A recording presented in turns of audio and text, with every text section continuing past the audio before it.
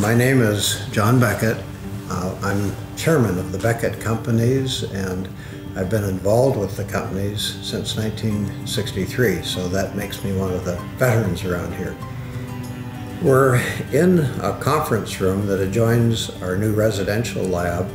Uh, this was not part of a master plan, but we had a fire here and that uh, devastated our residential testing lab we uh, took a fresh sheet of paper and said if we could do this from scratch, what would we like? So this conference room uh, is, is part of that. It's a place that we can bring customers, uh, people who are in for training, and we can show them, actually demonstrate how our products work. And uh, so, of course, we've expanded our portfolio from oil combustion to electronics and fuel monitoring systems. And uh, so we can give customers uh, a, a, a large appreciation for the kinds of things that we're doing here at Beckett.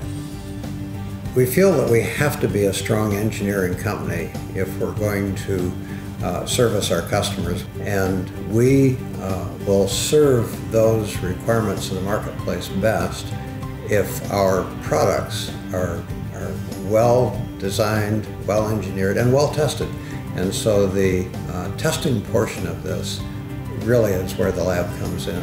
And we will be focusing there on application of our products to our customers' products so that we uh, have a very good marriage from a combustion standpoint, from a performance standpoint. And so we feel that our strong suit is having a highly engineered product that adapts well to our customers' clients. Pursuing new is not really the enemy of doing well in your core business. Uh, they complement each other. And it's, it's important for us to do well on both of those fronts. Uh, if you will, it's like a 100-100 emphasis rather than 50-50.